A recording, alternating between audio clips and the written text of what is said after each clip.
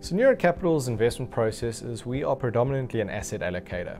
So we don't uh, make any underlying security calls. Um, we focus on building robust asset allocation models that are designed to achieve a targeted outcome at the lowest amount of volatility possible. Once we have built our asset allocation models, we will then use either active or passive or combination of underlying funds to build the, the portfolio up. And the funds that we do make that we do use there, uh, we make sure complement each other from an asset allocation and risk management point of view. The active building blocks that we do use are we only use them to the extent that we understand if they can add value or not. Um, we have various statistical measures and techniques that we can use to actually determine if an active portfolio does and can add value over the long term. So we will only use them in assets allocations that make sense or in, in different asset classes where it makes sense um, and in different strategies that we have determined that can add value over a long period of time.